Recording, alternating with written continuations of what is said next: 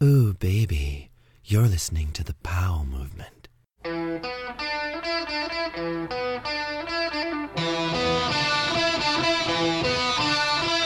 Welcome to another episode of the Powell Movement. I'm your host, Mike Powell, and this week we're going to talk to a guy who seems to have more wins in ski slope style than almost anyone. But being from the Midwest, he has a different outlook on the sport and the lifestyle, and he really doesn't fit in.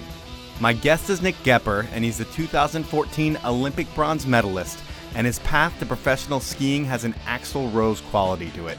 It starts in Indiana, and he moves out west where he achieves his goals in a way that's so hyper competitive that it rubs some people the wrong way. And that's where the Axl Rose comparison ends. Before we get into the podcast with Nick Goepper, I want to ask you to subscribe to me on Instagram at The Powell Movement, share my posts on social media, and reach out to me with any feedback or concerns that you might have. My email is mike at thepowellmovement.com. Finally, I need to thank my sponsors. They are Evo, Rescue Water, 10 Barrel Brewery, The Summit at Snoqualmie, and Unofficial Networks. Please support them and use the codes offered in the ads, because when you do, it makes them happy with me. Now, let's talk to Nick Goepper. Nick, how's it going, man? It's going good. Where am I talking to you from? I am at the Utah Olympic Park in Park City. They got a pretty sweet jump up here. It's like a jump with like a rope tow right next to it, so you can get a million laps on it. So it's pretty awesome. Nice. It's like the hill growing up where you skied. Really small and tight. Yeah, exactly. I honestly, the elevation is probably about the same, maybe a touch smaller, but yeah, it's about it. What's that facility like? It should be state of the art, the best in the world for athletes, I would think, right? Because you're the Olympians and you should have the best. And is the facility like that? Yeah, yeah. I mean, it's pretty sick. It's kind of different strokes for different folks. I mean, it it is really nice and it's private and it's a well built jump. But you know, some people would rather ride a public park with multiple jumps and rails and a bunch of people around. I guess what I was thinking when I was talking about state of the art facility is when you think about NFL, because I'm thinking about the best athletes in the world. Yeah. On paper, you are one of the best athletes in the world on skis. And the care that you see those NFL kind of players get, where there's doctors, ice tubs, all kinds of different things. You would think there's massage on staff at all times.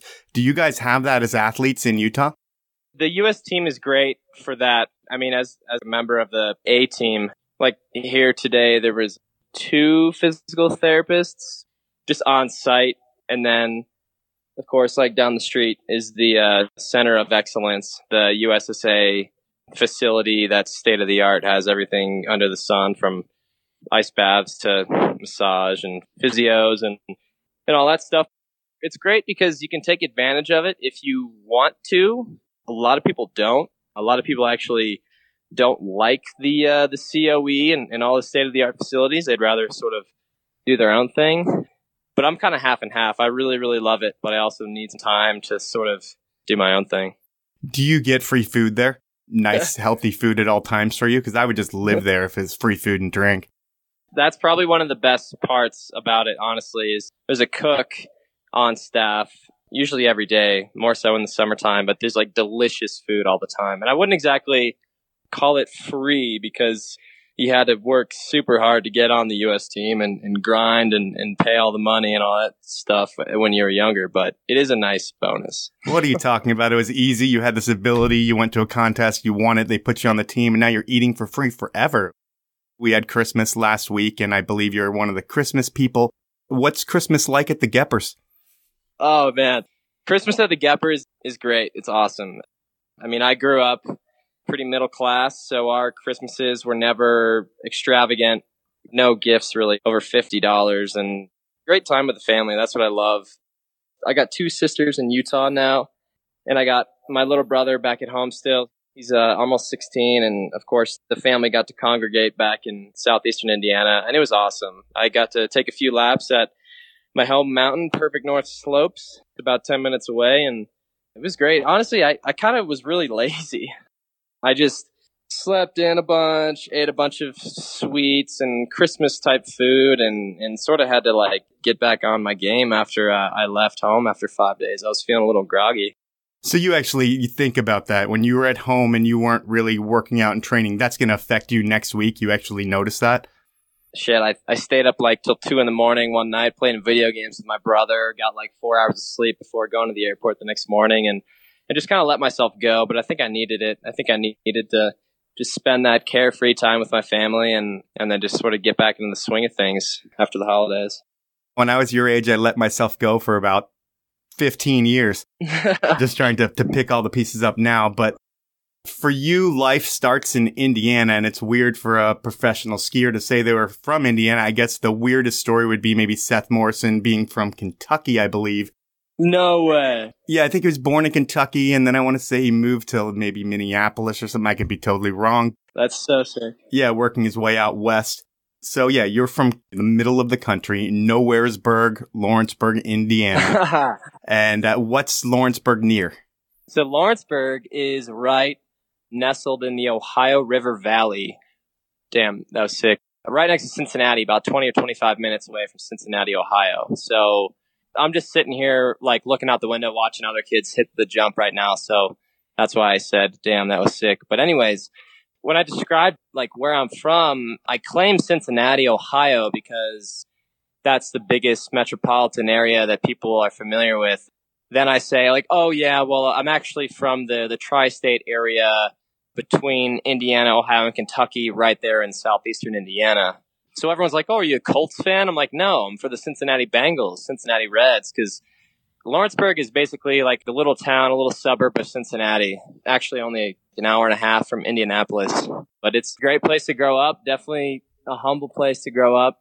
I'd say a pretty normal Midwest style childhood. If Cincinnati's an armpit, it's kind of a pimple underneath the armpit is Lawrenceburg, and you put cinnamon in your chili. I suppose, you know, like chili is a huge Cincinnati thing. It's really like Cincinnati chili is like what Cincinnati is known for. That and Graeter's ice cream and then LaRosa's pizza, a bunch of just like Cincinnati things that people wouldn't really uh, ever hear about. I mean, I feel like Cincinnati used to be a bit of a an armpit, but actually it's gotten really nice over the last like 10, 15 years. I've read tons of articles about the up and coming Cincinnati skyline and how it's changing the world of technology. I'm kidding. Yeah, yeah. I mean, uh, I didn't really spend much time down in Cincinnati as a kid, but just going back as an adolescent and as an adult, it's cool to go actually check out the city and go to some of the more young, like social parts of town. Uh, this one part called Over the Rhine. It used to be a pretty dangerous spot, but it, they've sort of made it a lot nicer. And so it's fun. It's nice. And you have two sisters and a brother. Yeah, I got two younger sisters and a younger brother. I'm the, I'm the oldest. Are you protective of your little sisters? Have you ever had to stand in the way of any guys being assholes to them? No, not assholes, but like I'm definitely really protective. That's funny you say that because like my littlest sister Brady, she's just 18 and she's been dating this guy for like a year or two, and it's funny. It's funny like I really like him and he's an awesome dude, but it's funny putting on a front like the intimidating big brother front and being like, "Don't you mess with my sister," you know, kind of like that. So sports wise, it seemed like it was skiing, soccer, and swimming. Those are kind of the main ones, but skiing was was never a primary focus until I was like 14 or 15. I was pretty well rounded thanks to my parents just helping me get involved in a bunch of youth sports. I played a lot of soccer growing up. I, I swam a lot, played a bunch of seasons of baseball, played a couple years of football. And then of course, like I had an action sports side to me too. So I loved riding my BMX bike and building trails and I loved uh, skateboarding, but like my main thing was rollerblading. I was really into rollerblading, and my neighbors helped me get into that. I was reading something that a couple of your friends had said from growing up, and they said that if you weren't a pro skier, you would have been a pro soccer player, or you would have been an Olympic swimmer. Were you really good at whatever you set your mind to? I think so, but I think at first I was like, okay, soccer. I really like soccer, but it's sort of like that love sort of faded and and I was still trying to push myself and, and develop my skills and it just stopped happening later in my soccer. Like rollerblading, for instance, I really, really loved rollerblading. And I think just because of that love of doing it, it just helped me to push me and, and get better. And I would say that was the one that I developed the most skill at. How old were you when you started blading? Nine or 10 or something. Did you get a pair of like aggressive skates right away, or was it just a pair of uh, regular rollerblades, and then eventually you saw people jumping and got a pair of aggressive skates? My neighbors growing up, this neighbor kid named Andy Yingling, he was about three or four years older than me, and his dad, uh, he was a single child. They lived right next door, and I'd say if it weren't for them, I wouldn't really be into action sports now. I wouldn't be a pro skier because I was playing soccer and I was swimming and, and they were like kind of a more eccentric family and for the Midwest at least. And I went over one day and they were like rollerblading and I was like, what the heck is this? And Chris Yingling, Andy's dad, gave me a, my first pair of rollerblades. I think it was like an old shitty pair of K2s or something. And, and they were just really into it. So I just all of a sudden got really into it. And then I just started to love it more and get more like competitive, like with Andy, but also with myself and want to like do more tricks. And I was like, well, shit, these rollerblades like can't keep up because like the sole plates on them weren't big enough to grab onto like big coping or ledges. And so I was like, damn, I need to get some new rollerblades so I can start doing better tricks. What year are we talking about here? It's like 2005? Yeah, yeah, something like that. Blading has just gotten out of the X Games. Kids your age are still doing it because they saw it in the X Games, although that's dead for the skate world. Yeah. Are you into the, the skate scene? Because there's a, lot of message boards and websites that are focused on rollerblading. And if you're a rollerblader, that's the only place to get your media. And were you involved in that back then too? No, I was totally unaware of the skate scene. I mean, I skated with the neighbor kid and then the kid up the street. I'd go to the skate park in town, the local skate park in Lawrenceburg, and I'd be the only rollerblader. And it was like this really weird dynamic because I loved it so much and I was so into it, but oftentimes I was the only one doing it. But I mean, I just pushed myself and had solo sessions a lot. But, you know, it's funny you say that because I wasn't aware of the scene really, but like there was one time when I went to Cincinnati with my dad and my friend and we watched this like event series, kind of like the Dew Tour. It was called MSS. Oh, I was there. Mobile Skate Park Series. And I watched the Yasutoko brothers crush it on the vert ramp when I was like I don't know, 10 or 11 or something. I remember watching them on the vert ramp, and then I think maybe that year, the next year was the last year there on X Games, watched them like dominate on TV, and I was like, holy shit, that's badass. And oh my god, holy Troy just did a dub 14. I loved it, but the only problem was I was the only one that did it around. So it was kind of hard to go to the skate park and be solo, but whatever. When you pick a sport like rollerblading, which is an outcast sport, you might not have known you were picking a sport like that, but you're immediately going to get shit a bunch of places that you go and people that think you're not cool immediately because of what are exactly. on your feet. And did you experience that? Yeah, I did. And and sometimes I go to the skate park and there'd be other guys, maybe like one or two other guys, and that were Blake, and I'd be like, holy shit, like those guys are like gods because they're like were better than me, and I was so stoked that there were other people there doing it. But I think it just kind of hardened me a little bit and just made me a little bit tougher. And because I didn't really shy down from it, I was like, fuck it. If I'm going to, I love it so much, I'm just going to go, you know, have a session and I don't care. But I think it definitely taught me a little bit of independence and taught me how to sort of pave my own path per se. Okay, before we get into paving more of your path, I'm going to jump into my sponsors. And my first sponsor is Evo. And if you haven't been to their retail locations in Denver, Seattle, or Portland, you are missing one of the greatest shopping experiences in the country. They have the best brands, employees who are approachable and knowledgeable about the products they sell, cool art, and a service shop that'll have your ski, board, or bike dialed the first time. And oh yeah, they were started by pro skier Bryce Phillips as a website, evo.com, which everyone knows is a site to go to for the best online shopping experience. Not only does Evo offer a low price guarantee, free shipping on orders over $50, and a no hassle return policy, for listening to the show, they're going to give you 10% off your entire order. When you check out of Evo.com, use the code capital TPM, the number 10 at checkout, and you'll get 10% off your order. My next sponsor is Rescue Water, and they are proactive recovery. If you don't know what that means, I want you to try something for me. Next time you hit the mountain, the gym, skate park, or practice, skip the sports drink and drink a cold rescue water. There's no gimmicks here, it's science and it works. And you'll notice how much more hydrated and better you feel compared to your normal post exercise drink of choice. The game changer for me is that it works great after a big night.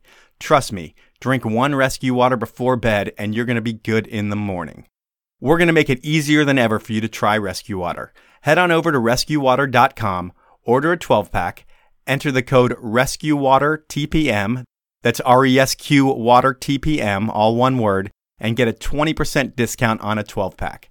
Rescue Water is also available on Amazon and Amazon Prime. So those are my sponsors, and now we can get back into your life.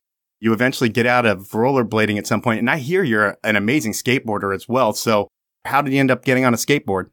I sort of did both. I, I was I was like 75, 25 growing up. I skated a bit too because, I mean, I was just more social and because there were more people that did it. But I would say right around 15, 16, 17, I started traveling with skiing a lot more and it just became like more convenient to grab a skateboard and, and just kind of roll with that everywhere I went. And also too, the thing was I got back into blading a couple years ago and it was just like too much like skiing. And when I'm not skiing, like I don't want to mimic skiing because then I'll just get like competitive with myself and like pissed off. I'll be like, oh, well, that's going to like, if I do like a bad royale, that's going to reflect on my skiing or something. So I don't know, just weird mind games I play with myself. I like skateboarding because it's, it's totally different from skiing a lot of similar muscle groups and like pumping tranny and, and finding lines and stuff, but uh, but the tricks and sort of the flow is is different. So you also surf a lot, I hear. Not a lot, but when I when I'm near a coast, I try and get on a board as much as possible. And I hear you're good on a surfboard as well. It sounds like you're one of those kids that's naturally talented at many different things. Growing up, you also had a trampoline set up in your backyard. That was kind of crazy.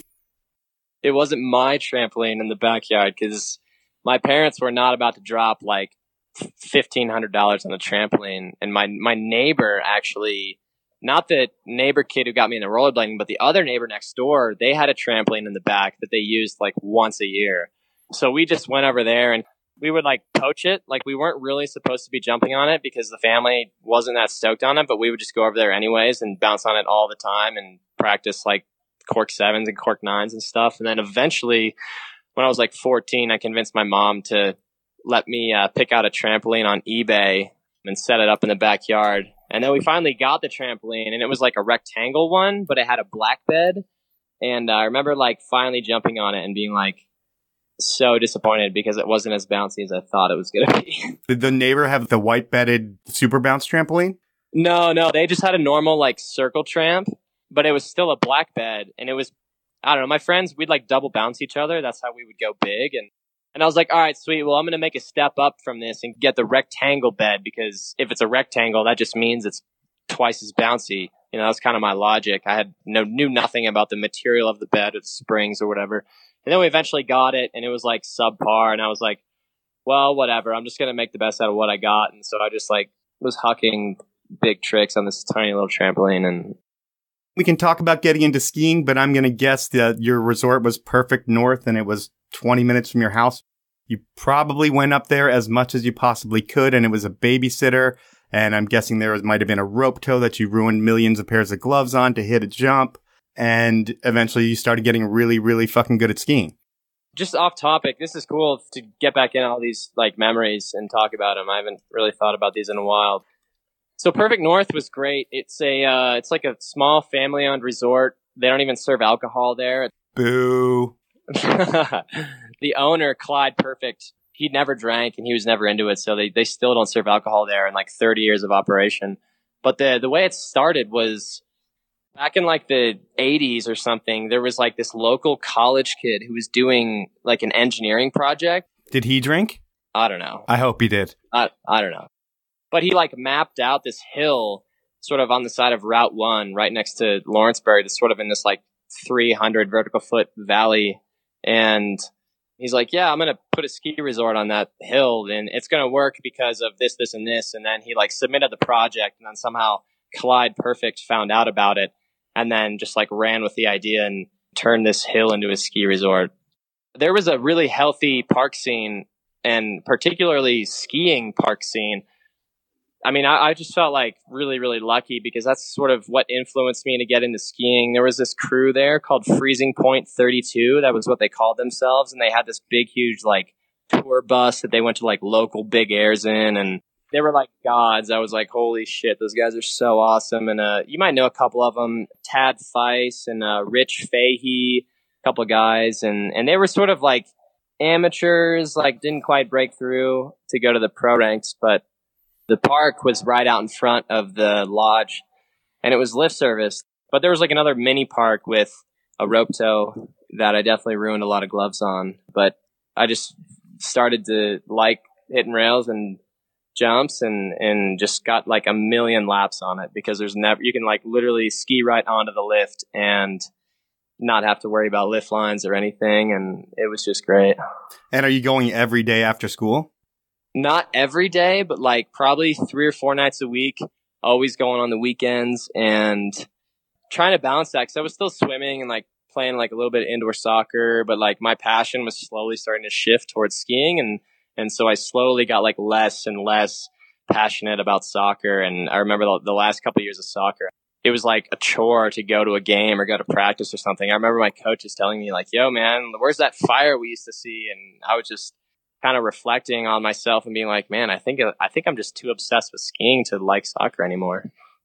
At this point in life, your dad loses his job and that impacts the whole family. I don't know if your mom's working as well, but is that a, a, significant moment in your childhood that makes you become an adult really quick? Yeah, a little bit. I was like 14, 15, right around 2008, 2009 when the recession sort of really hit. And I remember my dad being unemployed and my mom went back to work. She bought a franchise called Liberty Tax Service and started to run that. And I didn't really realize the scope of it at the time, but all of a sudden, like my parents weren't able to take me to the ski slope after school anymore because my mom was working, my dad was out like job searching or whatever, and so I my parents had less flexibility and became way busier.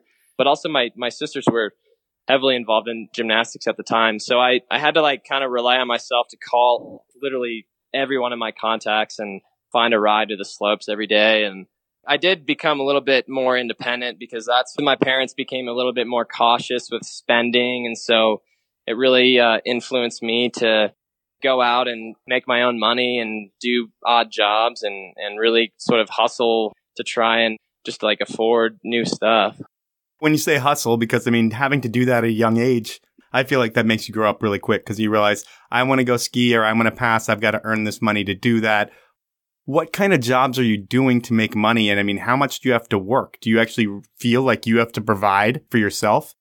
Not like food and, and just basic stuff, but things I wanted. Yeah. Like if I wanted a new pair of blades or a new pair of goggles or a new pair of pants or something, my mom used to be able a little more flexible and be able to buy me stuff, but I was like, shit, I got to make my own money now. So I, I, I, I got like one regular job when I was like 14 at this like bar and grill down the street from my house called Willie's, and I was like a dish boy, and I just cleaned like disgusting dishes and and like bagged like raw meat that would turn into chicken nuggets, and it was awful. and I like scooped out potatoes for like twice baked potatoes, and th- that was not fun at all. And I was like, and my boss was kind of an asshole. I was like, I do not want to do this anymore.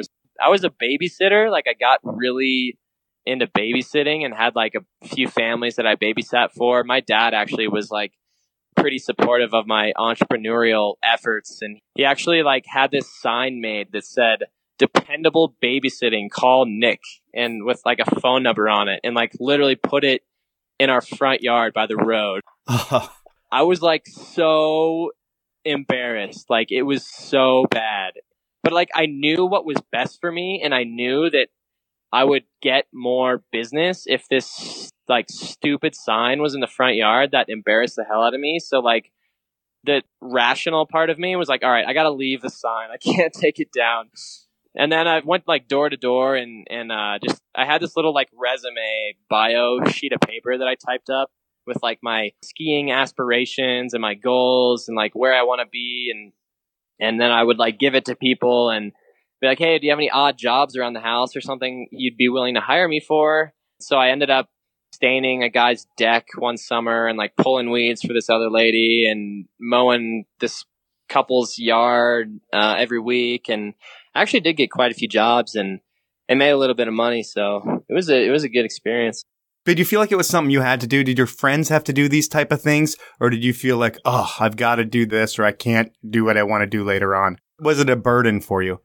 it wasn't a burden and my friends weren't really doing that type of stuff. But like at first, I, I had no idea what I was capable of. Once I started to get jobs and develop relationships with like different, we'll call them clients, it was fun for me. I mean, like the deck staining job was miserable. It was so boring, but like just like the, the pursuit of, of getting more jobs and sort of like building up experience, um, was actually really fun and, and yeah, I was productive. And so I was like fulfilled and, and I had a bonus because I got money from it. So thinking back to those days, who was that hot mom that you were always so psyched to do jobs for? Uh, oh, so there was this, uh, there was these two girls growing up. Their names were, they were in my class, Angelina and Josie LaRosa. They're like family started LaRosa's Pizza. The deck that I was staining for this guy, he was like their uncle or something. So like oftentimes Angelina or Josie would like stop by the house to come and visit with their family. And I would get to see him and I'd be like, oh man, I had a huge crush. It wasn't really on the parents, but it was on like the kids that were like affiliated with the parents. So, all right, Mama La Rosa. yeah. Skiing takes over in your life and becomes your passion and what's driving you. And in the wintertime, did you guys get snow at the house? No.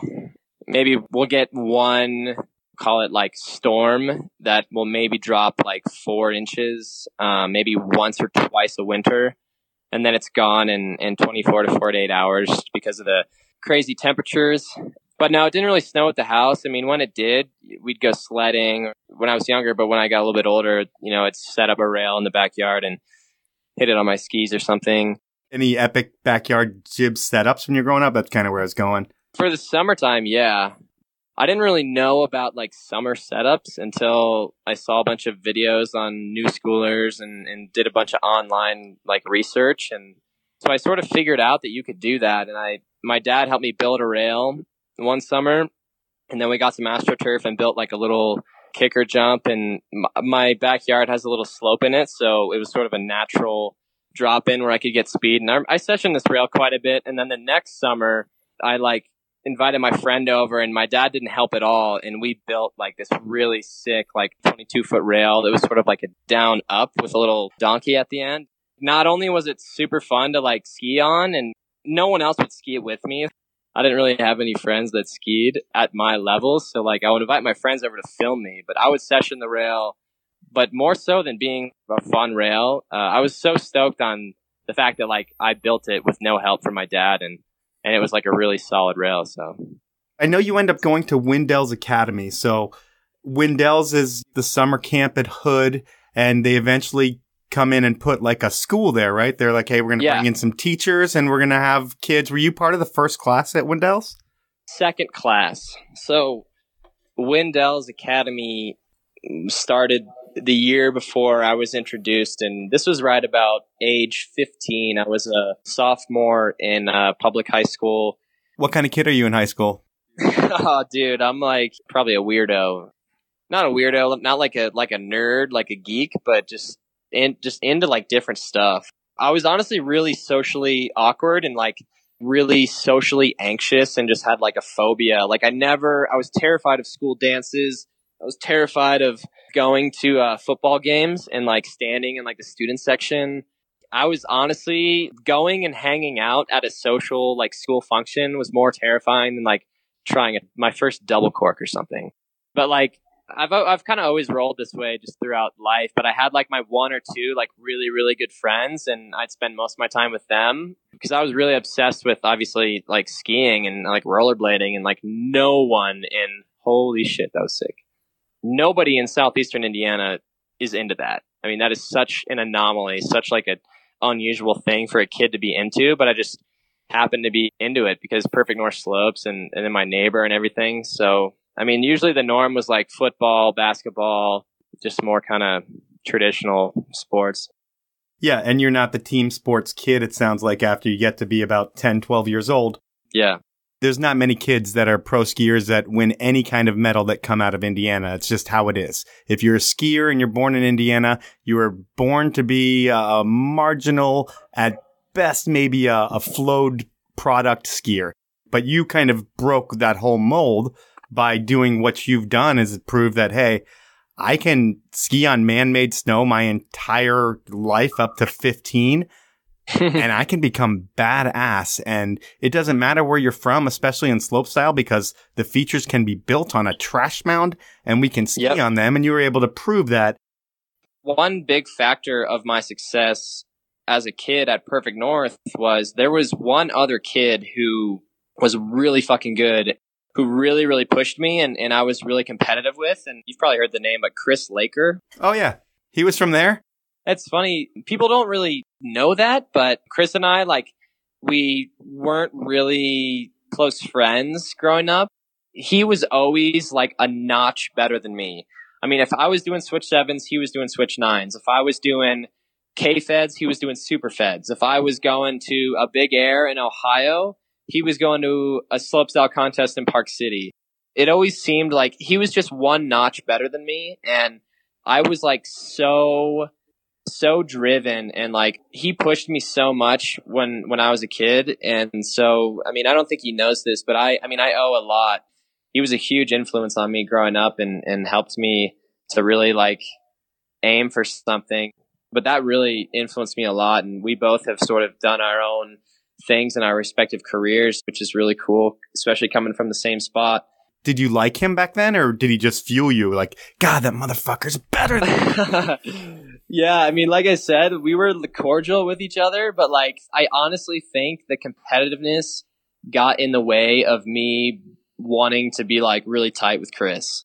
But you know, that's just the way it goes. You know, that's just personality types and whatever. That's part of your mo, though. Being super focused and competitive is just who you've always been, right? It's not like anything new. Yeah. You had it with Chris when you were younger, and he might not have known it, and you've got it today, but there's a reason that you do well, and that's probably part of it. Yeah. Yeah. But really, to progress to the next level, you do need to move somewhere out west or somewhere, you know, whether it's out west or, you know, New England to where there's skiers that are going to push you. There's coaches that can help you get better and you can experience the lifestyle of skiing a little bit more because when you're coming from Perfect North, you're getting a ton of laps and I wouldn't say it's the scene that you get when you get to Hood and you're engulfed in it. At age 15, I remember specifically one night, my mom, my mom would usually like come in and sort of like rub my back before I went to bed. oh, how sweet. Yeah, and uh, thanks, mom. Love you. And then I remember one evening laying on my bed. I was in tears. I mean, a 15 year old teenage adolescent. I was like crying because I didn't know if my dream was going to be able to work out.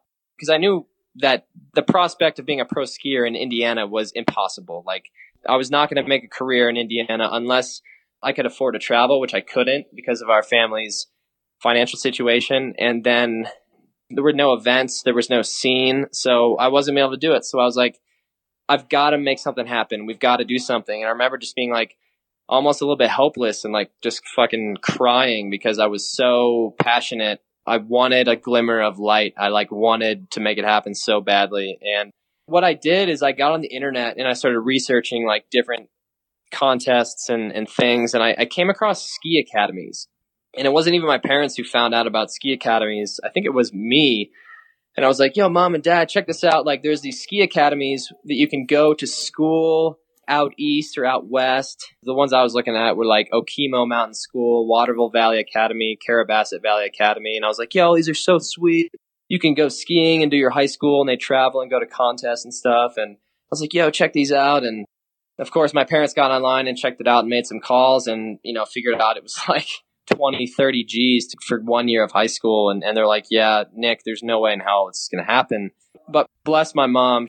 She recognized like my passion and, and she never said no to anything. And so they got really interested in trying to get a scholarship from one of these schools to maybe go like half tuition or like three fourths tuition free or something like that. And so they were in the middle of doing that. And, and I actually went to a trial week at uh, Carrabassett Valley Academy in like April one year.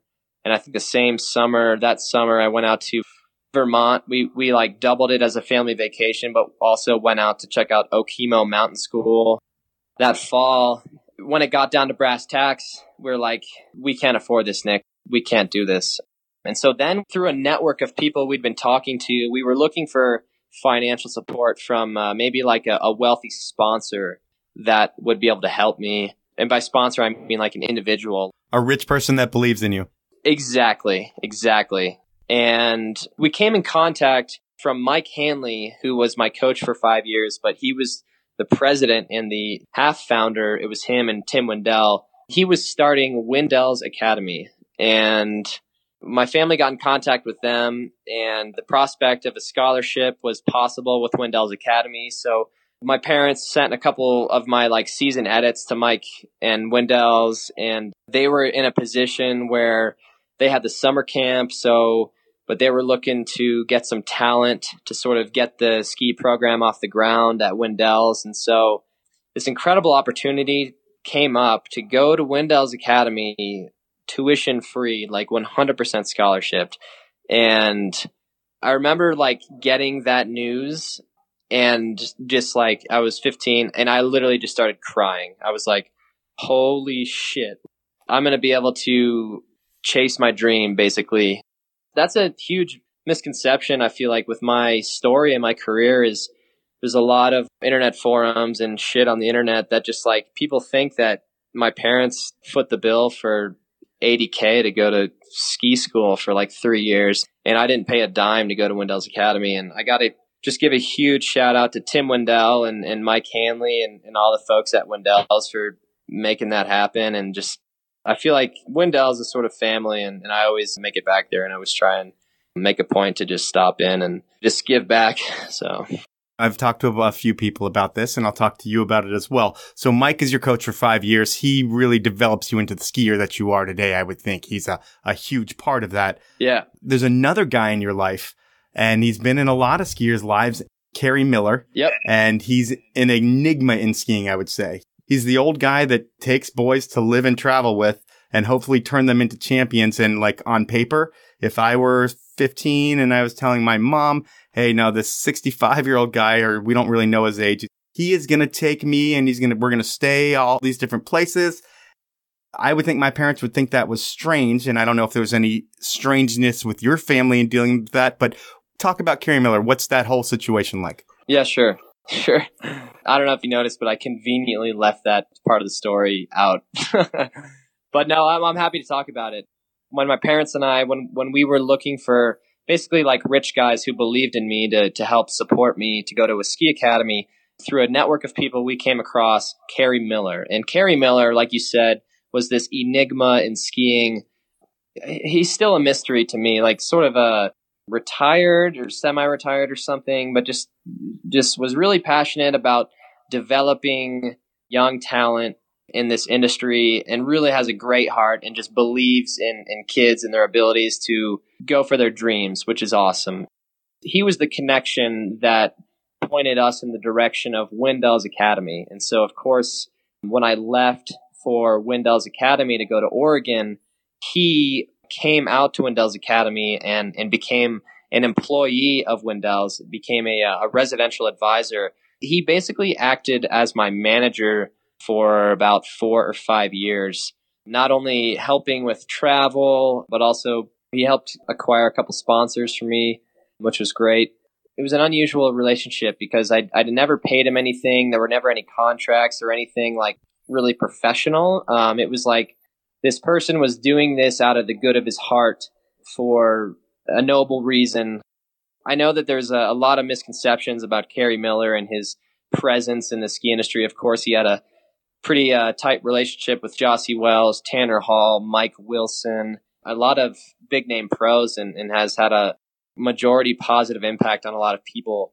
And so he was a huge part of my life for like three or four years between like 16 and, and like 19. When was the last time you communicated with him?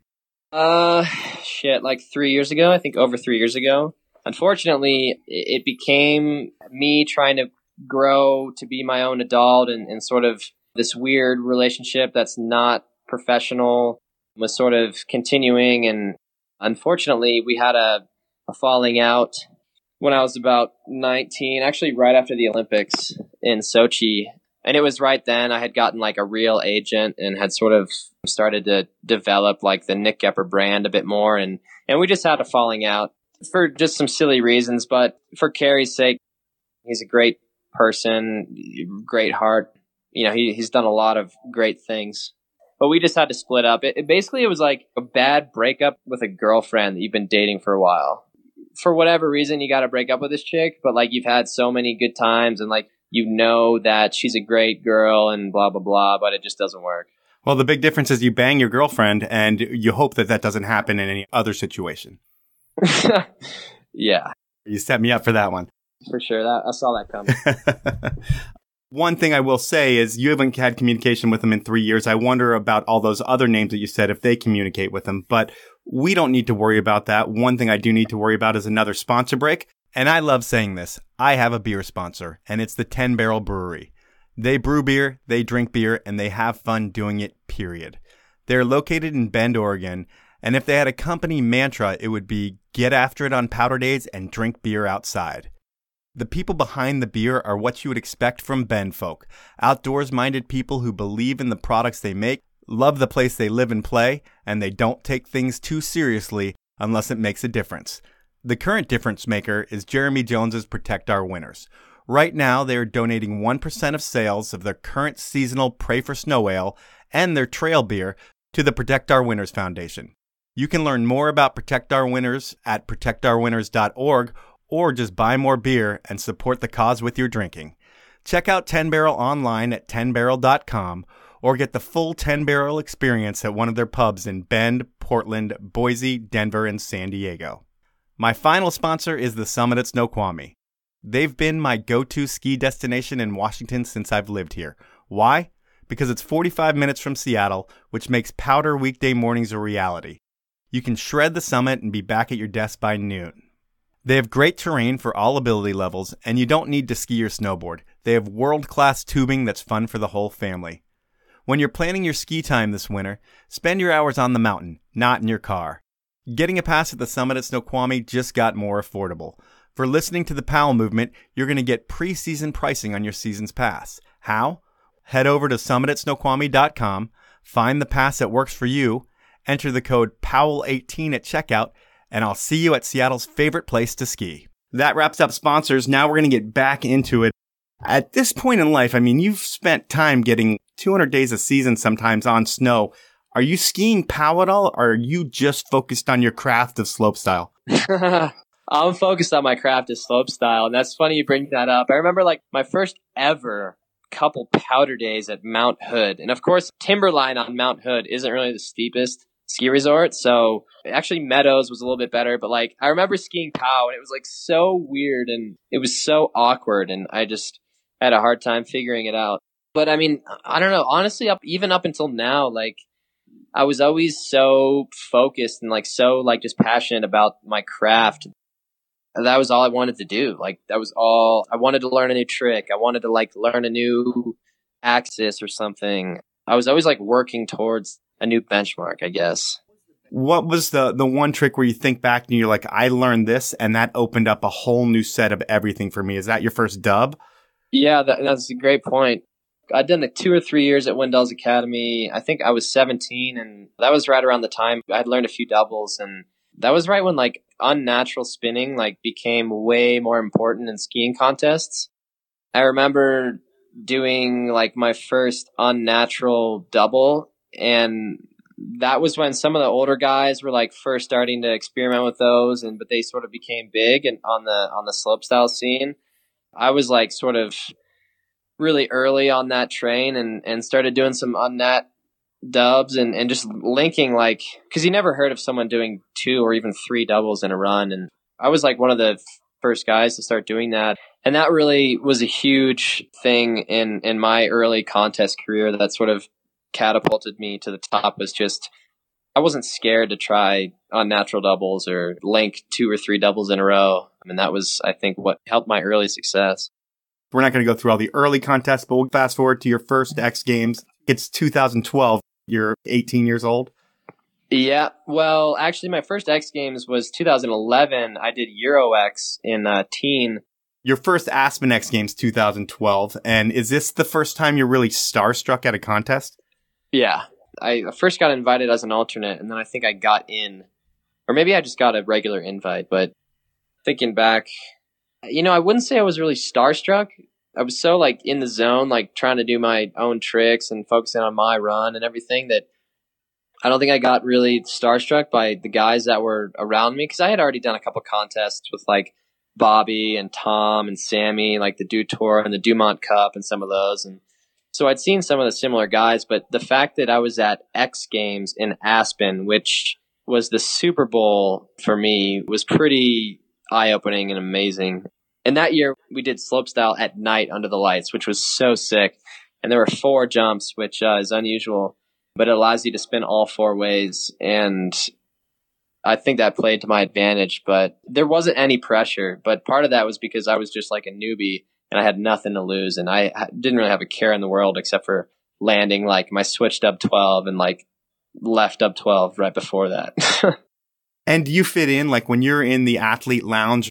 Are you friends with any of these guys? Or are you kind of in your own zone, in your own world? You said you used to have one or two tight friends. Everybody else is whatever. Is that how it is at the X Games and at these contests too? For sure. Is it you in your own zone? For sure. Absolutely. Especially my, my first few successes. I mean, Dew Tour, the Dumont Cup, X Games. I was rolling with like the Windells Academy crew, and those were my friends and like my people. And then all of a sudden, I was going and like winning or getting top threes in these events with sort of these more veteran competitors. And I don't think I was understood by a lot of the guys. And, and just being like really shy and sort of an introverted person to begin with really accentuated that. And I don't know what it was like for Tom and, and some of those older guys when I would come in and like beat them and get second or third or win. But I imagine that it was really frustrating and I can understand because I'm kind of in that position now where there's like these 16, 17 year olds that are like really fucking good and it's kind of making me a little nervous. For a few years, I wasn't really part of the big pros and like the crew. I mean, I didn't really party that much, didn't really like socialize too much except with like my own crew. And yeah, I just don't think I was too well understood. Coming from Indiana with a mountain that doesn't serve booze, the ski lifestyle of get off the hill, go après for a bit, maybe get some dinner and then go out. That's probably not part of your nature. It's like, hey, we're done on the hill, we're going home. Exactly. You just you you literally hit the nail right on the head. And I never even thought about it like that. Like coming from Perfect North, where they don't serve booze, there's no bar or anything the party scene and, and the après scene was totally foreign to me and even my family growing up like you know my dad like would have you know one or two beers a week never a drinker. Mom barely drank. So it was definitely like a little more conservative. Your first x games you get second. That's got to be a dream come true. You, are on the podium at the x games. Then they have the 10% rule. And I don't know if they they look at you like, "Hey, little kid, yeah, you won this amount of money and you're going to throw down." I don't know how that works, but do you find out about the 10% rule the the minute you get second? Mm, eh, not really. I mean, I was 17 and I wasn't really tight with a lot of the guys, and so like, I don't even think that was really a factor. But I do remember one time I was at this big air contest in Sweden, and like Gus Kenworthy and Bobby Brown were there, and I remember Gus coming up to me the contest was called King of Style, and it was like my first ever stadium big air contest. And I, I was so mad. I did a shitty trick and didn't qualify for finals. But I remember like the night of finals, I watched, and then we're going back to the hotel, and Gus like invites me out to go to the bars and you know with the guys, and I was like, I told him no because I just I had this like I wouldn't say like fear, but I, I, I guess I don't know this like fear of like compromising myself and like my value system or I don't know what you want to call it, but it was like the hardest no I've ever said, uh, you know, to like a, like a peer pressure situation. I was like, no, I'm not going to go. And, and it was really fucking weird. And I remember that same night I like went to the gym and went to like, got on a spin bike and just like rode this fucking bike like hell for like an hour to make up for not going out with the guys. I was like, fuck, well, I'm not, if I'm not going to go party, I'm going to go like make myself better in some way. So I'm going to go like make my legs stronger. I guess it's not a weird thought process. To me, it is because I don't ever think about making myself better. I always go to the bar. But yeah, it's uh, it's interesting that you decided that I'm going to stay in and make myself better, and these guys can go make themselves worse. Even though you you didn't say that, I did. Sounds like I, I don't want to say you don't fit in, but it sounds like you don't fit in too well. Yep, you're when right. it comes to after hour situations. And does that bother you at all? Does, do you want to be liked by people or do you not even care? I didn't really care, but secretly I did. And, and let's see, I was 20, 21 and I first started to drink a little bit and got drunk the first time. I was like, actually I was 18 or 19 out of Windell's. Yeah, one summer at Windell's and fuck, like me and a, a lot, a bunch of all the coaches and like some of the guest pros like went out on a surfing trip to the coast and we had this huge like camping setup in the woods and we made this huge fire. And I remember I got so, so wasted that for some reason, like I guess someone had been there before us and had been like fishing Mhm. and they had like filleted these fish and threw all the fish carcasses like out into the weeds next to the campfire. And I was like stumbling around and like fell in this like fucking pile of fish carcasses. And then the whole rest of the summer, like the next five weeks I was there, like all the coaches, everyone called me fish guts. yeah. and did that curb your drinking right there? No, well, it definitely like taught me to be a little bit more moderate. But that was like my nickname the rest of the summer, and I was like real embarrassed. But there was a phase where I started to experiment more with like going out and partying, and, and because I had been so like abstinent for a long time, I think I uh like overindulged a little bit too much, and you know hadn't had that experience like kind of pacing myself, and it burnt me out pretty quick. But definitely became a little bit more like open to to socializing and and just being you know in difficult situations that I was like uncomfortable in and stuff like that. Would you have rather have just stayed home or are you looking at drinking as a way to be accepted by your peers and, and just a way to be more social? A little bit of it was being accepted, but the majority of it was like I got to try this and see if it's fun and see if I like it. You know, to see if it like fits with like my personality. I just wanted to like experience it for myself. But then I realized, you know, it's like getting real drunk and, and partying hard wasn't really my thing. And so I started to moderate a lot more and it didn't become a priority. I think you can still make it a priority every night if you drink a RESQWATER after you're done because it really works. I just wanted to throw that in there. But moving on your career, you just started crushing it. I mean, these contests all probably become a blur, but there's a lot of podiums for you. You have X Games gold in 2014, 2015, not so well in 16, 17. But you go on a tear of contests. And when we talk about the Olympics, because that's the next big one on your radar, I'm not going to talk about qualifying because I think you had an easy time qualifying. It wasn't easy, but your hard work and preparation made it so you didn't get a discretionary selection. You were selected right away. Exactly. You went into the Olympics with a broken hand, right? yeah. yeah.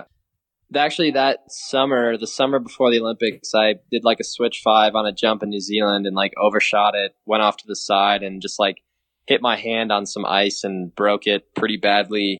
Had to go back to the States, get surgery, got a couple pins and like a screw in there. And then the first event of the Olympic qualifying was the Dew Tour. And I ended up skiing super well the Dew Tour and won it, but I was skiing without poles because I like my hand wasn't strong enough yet. Like I couldn't like hold a pole and like grab like successfully. So I just skied the event without poles and ended up winning. And I was like, fuck yeah, this is sick. And actually after the Dew Tour, I had been skiing for like two or three months without poles and it was, I was like really used to it. And so I could have started using poles after Dew, but I was like, well, if it ain't broke, don't fix it. That was kind of my methodology. And so I skied like the next few events, including the Olympics without poles. And I was like, fuck it, this is working. And, you know, I'm having fun still.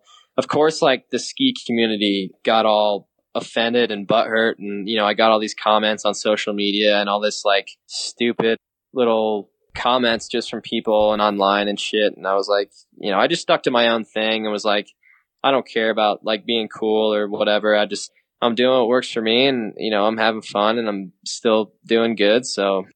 But you had to know some of that was coming. I mean, when you look back to Nimbus Independent back in the day, Andy Pep and Pollard went a little while without poles and it was heavily debated throughout the ski industry. Eventually those guys put poles back in their hands, which I think you've done as well. But when you are going to step into a sector of skiing slope style, which a lot of the cool kids are playing in. Yep.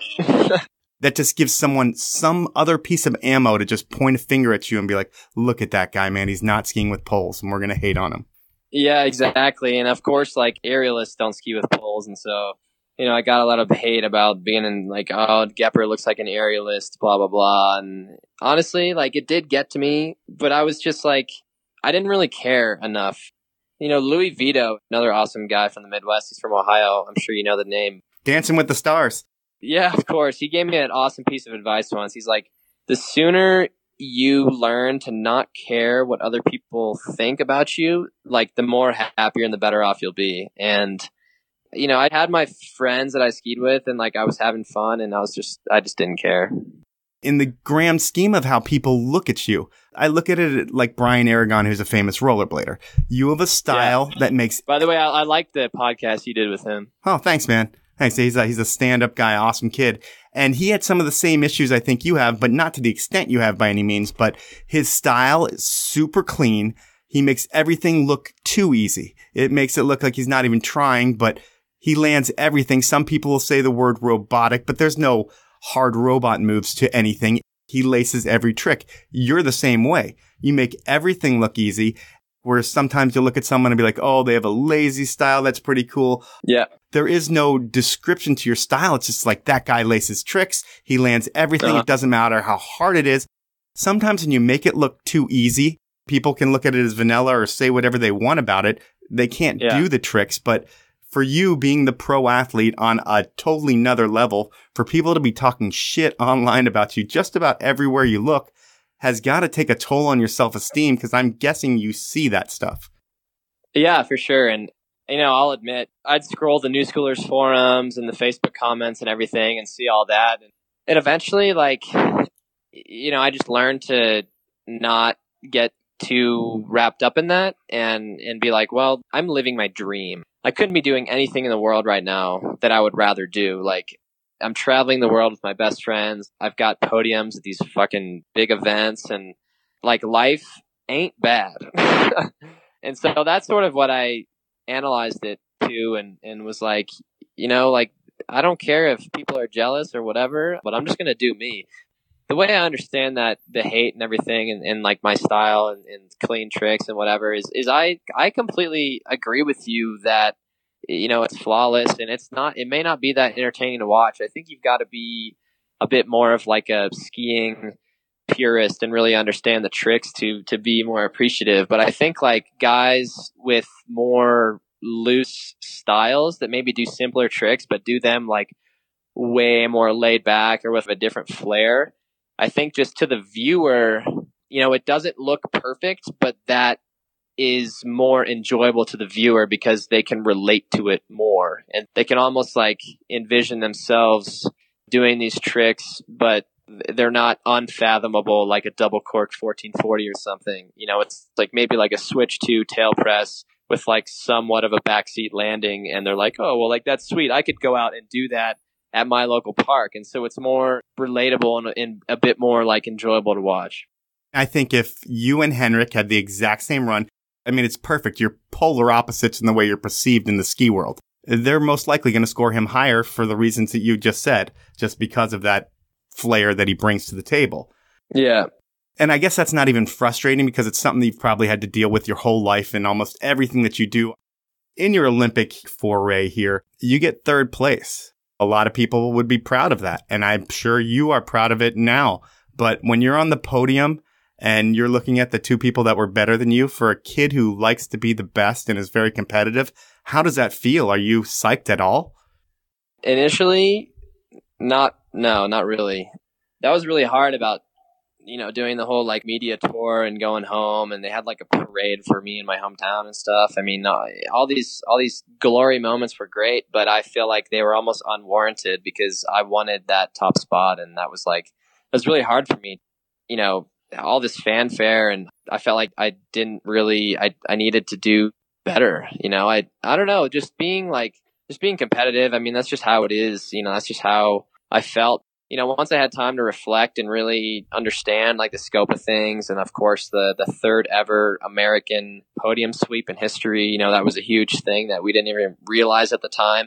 Just coming away with an Olympic medal is so incredible because there's very few people in the entire world that get to say that. And once I sort of understood the the reality and just what it was, I came to terms and, and became like a lot more stoked on on uh, sort of the whole Olympic story. But I initially I was like, God damn it. uh, I should I should have like not came off the first rail a bit early and maybe like changed my lineup a little bit, and I would have had you know like a 95 and and beat Joss or whatever. So Olympic gold. I'm sure that's what you're striving for right now. You're on fire. Right now, what does it take for you to qualify for the Olympics in South Korea?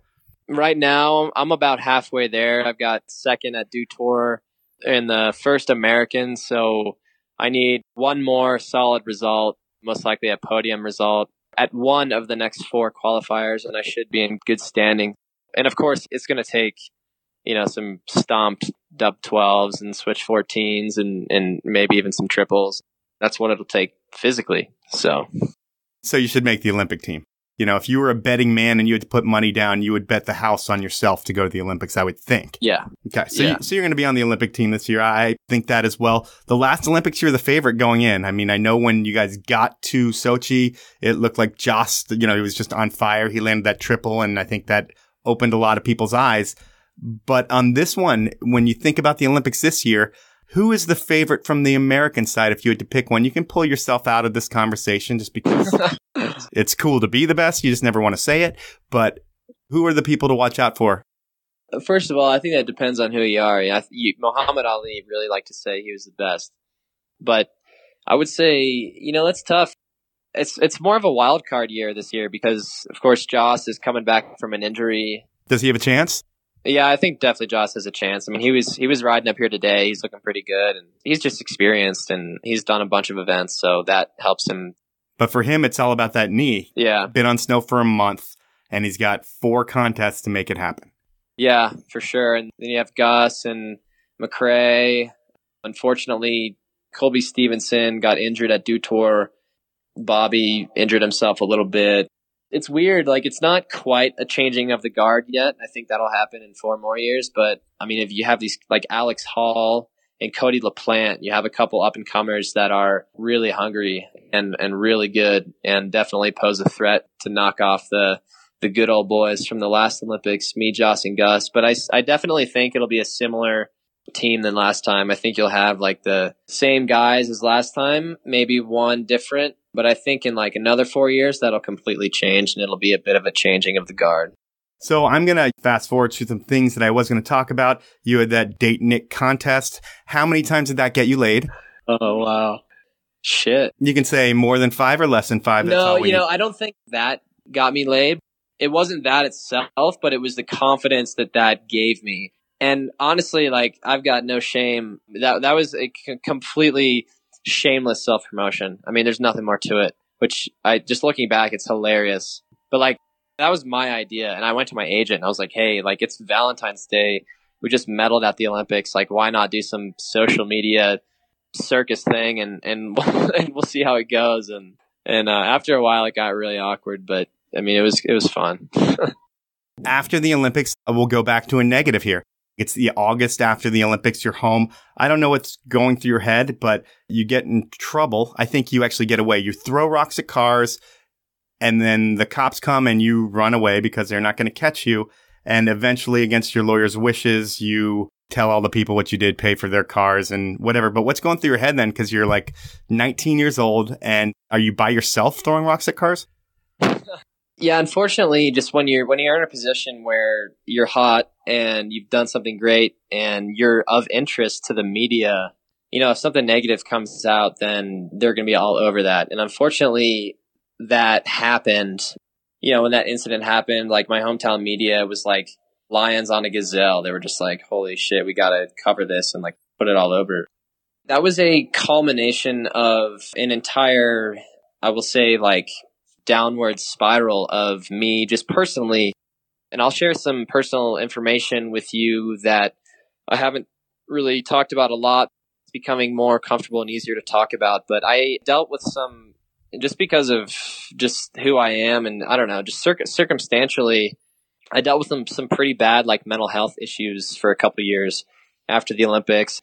Had a serious downward spin like two years in a row, particularly in the summertime where I, you know, I was really, really depressed and was asking these like existential questions like you know why am i skiing? What am i doing? Like am i you know all my friends are going to college and like getting educated and going on getting real jobs and i'm like traveling the world and playing. That's kind of what it felt like sometimes. And i started to drink a lot and use that as sort of you know a way to cover it up and and started spending a lot more time by myself and and um like drinking by yourself and how much is drinking a lot yeah yeah drinking by myself and, and just finding excuses to just escape, basically just like escape the, the way that I was feeling. And I was out one night with, with some friends and we were like, I don't know, messing around in the neighborhood and, and they left and I was by myself and thought it'd be a good idea to, I don't know, throw rocks at cars because that's what you do when you're juvenile and, and stupid, I guess but yeah, but unfortunately, like the media got a hold of that, and you know, it spun all over the internet, and and that was just a like I said, just sort of a minor part of the whole story. And then the following year, I think it was 2015, I sort of like recovered, had another good season, won the X Games again, and like was stoked. And then sort of like the same feelings came back up the next summer, and that's when it got you know tenfold worse, and I started to not only just experiment more with alcohol, but start to start to think about like suicide and stuff like that. And that's when, you know, there was a few, a couple really scary instances that shocked some people around me and, and I needed to get some professional help. So I went to, my parents were just amazing in this whole process of getting me some help. But I, uh, I went to a rehab center down in Texas, right outside Houston for 60 days. And, uh, that's where I sort of, had some time to get my shit together and I had I had like no plans of like returning to skiing even. I was like I had almost like given up. And you know, eventually after you spending a lot of time and like getting my shit straight and finding myself again and blah blah blah. You know, I finally made my way back to Breckenridge, went home for Christmas. This was let's see 2015, 2016 came back and was like so fired up. I was like the happiest I'd ever been. So stoked on life and ever since it's just, it's just been part of me, something I've dealt with and something that, you know, I'm not ashamed to talk about. So. No, you shouldn't be. And I mean, I look at it as like that coming out about the rock throwing. That's probably a good thing for you. It embarrasses you. It makes you look terrible. It brings you back to a, the level that everybody should be at. You're no better than anybody else. You can't throw rocks at cars. It makes you aware of the problem. Yeah, exactly. And then it sounds like it gets worse the next summer. I mean, did you go to rehab for alcohol or was it more rehab for your feelings and your, you just didn't know who you were? You know, a little bit of both. I mean, obviously, like, I had a bad alcohol problem. Like, I, not that I was like addicted, but I was a, more so like, I just craved the feeling of like just fucking escaping my problems. And that's exactly what I, what I used it for. And I think the the the program that I did was actually it's called Athletes Recovery, and it started by this dude who was a uh, he played in the NFL and he was an ex NFL player, and he got really tired of his friends in the league. He was in the league for like I don't know eight years or something, but he got really sick of seeing his friends in the league fall victim to like mental health problems and substance abuse and blah blah blah. He had multiple friends just have some serious problems, commit suicide, blah blah blah. And so we started this program catered towards pro athletes or even like sort of high profile people that are going through similar situations and that's what I did and it was a huge eye-opening experience and not only was it like great to just take some time off from like just I don't know the real world. I guess it was great to be able to relate to other people who had been through the same thing and who were experiencing the same things that I was. And that was one of the biggest influences of me just like figuring figuring out mm, the recovery. It's an abstract thing to a lot of people. I mean, from the outside, you look and you're like Nick Goepper. He's an Olympian. He's got everything at the tip of his fingers. He should be the happiest person in the world that's not always the case. And you're lucky that you were able to figure out that you needed help before it was not too late, before something really bad happened. Have you ever heard of the low pressure podcast? Yeah, I have. Okay. So I am going to let Mark ask you three questions. What's up, Nick? This is Mark Warner with the Low Pressure Podcast, the podcast for skiers, the other one. So, being that this is an Olympic year, I figured I'd come up with uh, some Olympic questions for you. Number one, how often have you used or continue to use your Olympic medal to get you laid? Because you know you do it. I would use it every single day if I was single, but I am happily in love. I hope my wife listens. But how about you? I definitely used it a few times after the Olympics, but it got old really quick.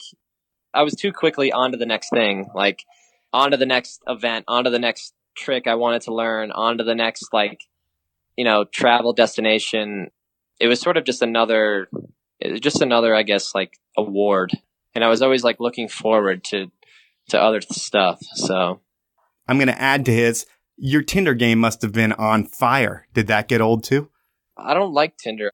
I don't believe in like meeting people that way, like through like iPhone apps. How about Android?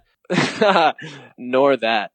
But I was more of like just I don't know, I guess meeting people in person and, and just hanging out with my friends and just being like present and not like glued to my phone. So that's that. Okay. He's got two more. Here we go with the next one. Number two, thinking you're Gus Kenworthy, how often do people ask you how the dogs you saved are doing? Oh God. I got that a lot. Because of that like whole media story that blew up with Gus and the dogs and everything, that was like a part of who I was for like two years. I kid you not. Like people would know that I was Nick Goepper and they would know that I was not Gus Kenworthy. I was not responsible for the dogs, but I would still get that question all the time. Like, how are the dogs doing? Or like, did you take a dog or blah, blah, blah. and Gus is a, a great guy for doing that, but I was like, I don't care. Like, I had nothing to do with that. That's the weird thing about the Olympics is it's ironic because the Olympics is all about sports, but it is nothing about sports because out of the whole like Americans Olympic slopestyle sweep, it, it, was nothing to do with skiing. It was everything to do with like dogs and dates and Josh got the least press. Yeah, exactly. And it's just like a catch 22, but yeah, it was really frustrating for a while getting those types of questions. Like, you know, you want people to care about your performance and about skiing and about like your sport, but they don't. They care about your personal life and puppies and stuff like that. And there is a final question. Number three is a follow up from number two. Thinking you're Gus Kenworthy, how many dudes asked to see your medal? You don't have to answer that question. That is our friend from Canada who doesn't have as much common sense as us down here in the States. I'll, I'll answer that question. I just want to say, like, I respect Gus and I think that he's a good role model for people and, and for the gay community. And I just respect him. So that's what I want to say. You don't seem to be one of those guys who is going to ski POW the rest of your life once you're done competing. It hasn't been part of your life growing up. And I don't know if it is part of your life now. Where do you see yourself going after, you know, the competitive days of skiing are done? I feel strongly about this sport and I love it. And I hustled really hard when I was younger. I mean, I just like rail jams and, and, asking for sponsors and stuff. And, you know, I love seeing that enthusiasm with like young, younger kids now. So I want to give back to the sport in, in one way, shape or form. You know, whether that's an event series or, or like just being present in the industry or something like that. Like I've been given so much from skiing that I feel obligated and passionate about giving back in some way. But after skiing is over, that's a really good question. And I love skiing, but I also, I love competing and I love doing events and I love trying to do better every single time and just leave a legacy of being one of the most dominant competitors. And that's just who I am. And, you know, it's just part of my uh, upbringing. I don't know exactly what kind of legacy I want to leave on the sport just yet, but I want to give back to the sport. You know, who knows? I might want to be involved heavily in the industry and maybe have a job in the industry when I'm done, or I just might be sick of it and want to stay relevant but have a completely different career and, and, lifestyle. But who knows? I mean i'm really just playing that by ear and and i haven't gone to school yet. School's always an option and all i can say is that right now i'm loving what i'm doing and i'm 100% focused on my skiing career and when that bridge comes i'll i'll cross it so. How much is the most uh, skier of your caliber can make in a year ballpark. You don't have to give me your number. On a successful year, you'll make six figures, but on an unsuccessful year, you will make south of six figures. So 101,000 or 500,000? When you say six figures, Yeah, no, I'm talking like around 100. that's a good year. Just off sponsor retainers, I'm probably making like what you would make at your first job out of college. But that's a whole nother discussion is the financial piece of this and what the Olympics has done to the sport and, and just the way the sponsors are. But yeah, I mean, I'm incredibly lucky that I am able to live comfortably, make a living. I don't have to have another job. That is part of this whole dream life that I'm living right now. And I couldn't be luckier. So You're in a great place, and I want to say best of luck to you. I hope you win an Olympic gold medal. I say this to everyone who's on the show, and don't take offense because you'll hear me say it to someone else later, but hope you win an Olympic gold medal, and you are going to be one of the favorites going in there. It is going to be exciting to watch. If you win that medal, you don't have to go to school. You don't have to get a job. yeah, right. You're an Olympic gold medalist. You can do whatever you want. As a bronze medalist, school and a job are probably something that you have to do. Gold medalist, not so much. That couldn't be more untrue, but I appreciate the notion. well, I mean, I look at the Jonny Moseleys of the world and given it all depends on your image and personality too, because Joss is going to have to work harder to be a Jonny Moseley type figure where Jonny Moseley's just himself and everybody wants him all over the place. if you win an Olympic gold medal or any Olympic medal, you have a really sweet part of you to talk about for the rest of your life that people will pay for. So that's awesome. But I would argue that I never, and I said this in the last podcast, I think, but I never ever want to go to an event where the speaker is an Olympic silver or bronze medalist. I only want to go to an event with gold. Fuck yeah. If you're there, I'll listen. But you know, in the grand scheme of things, when you're reading about an event that you're going to go to, it's not like I'm like, mom, the Olympic bronze medalist is going to be there. You, yeah, exactly. Exactly. You are 100% right. That's why you got to win gold. That's how it should be. That's just competition, dude. Yep. So hopefully you'll get that medal and we will be able to see you speaking for the rest of your life. I want to thank you for your time and, and have a great rest of your day. Hey, thanks a lot, Mike, and uh, I'd love to meet you in person sometime if we're ever in the same spot. So that was time with Nick Goepper, a dude who seems like he's finally figuring out who he is. Things are coming together on snow for Nick as well. It looks like the Olympic dream is in his sights again. And now that he started working on his mental health issues and drinking, it seems like he's more focused than ever. I'm going to predict a silver medal this time around for Nick, and I know he wants gold, but that's my prediction. Next week, I'm stepping back to the show roots and doing a business episode. I've been focused on athletes lately. My guest is Tim Pogue, and Tim worked for Burton in the late 80s. In the early 90s, he started Ride Snowboards, among other brands, and we are going to talk to Tim about his storied snowboard career. For now, I ask that you review me on whatever platform you listen to me on, share my posts, and tell your friends about the podcast. I also need to thank you for listening and thank my amazing sponsors. They are Evo, RESQWATER, 10 Barrel Brewery, and the Summit at Snoqualmie. Thanks for supporting the show, and have a great week, everyone.